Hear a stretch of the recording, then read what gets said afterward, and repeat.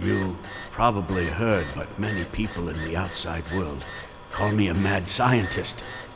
It's true, but only insofar as this planet itself is mad. I was consumed, obsessed with a desire to see the moment of death for this cruel, savage world. I was nothing more than another doomsday monger and didn't even know it. In the ten years since both our sons grew up and left home, I've known nothing else.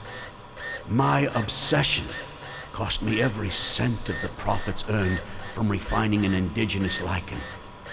Then, finally, my hard work and devotion produced tangible results. It, it was two years ago, while studying eclipses and old sundials, that I realized the truth about Stonehenge. By mapping the light and shadow patterns of Stonehenge, then computing them against the position of the stars, I came into the conclusion that Stonehenge had been used to predict solar eclipses. And as I made further progress, I finally discovered that Stonehenge was actually created to predict a specific day, the final day of all days. The end of everything. This discovery shook me to the very core. For 30 years, I had waited for the apocalypse. And with that knowledge within my grasp, my mind recoiled in horror. Earth was about to die. Along with everything in it. Was this what my heart truly desired? I christened the day the Great Eclipse and tried to, to pinpoint the exact time of its occurrence. By then, I, I had changed my mind. I wanted to save this world and needed to know when the end would come and how it would occur.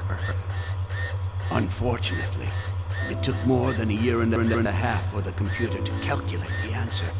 It was only three days ago that I learned that the Great Eclipse would fall on December 25th in the year 2000, on Christmas Day. But who would listen to the ravings of a madman?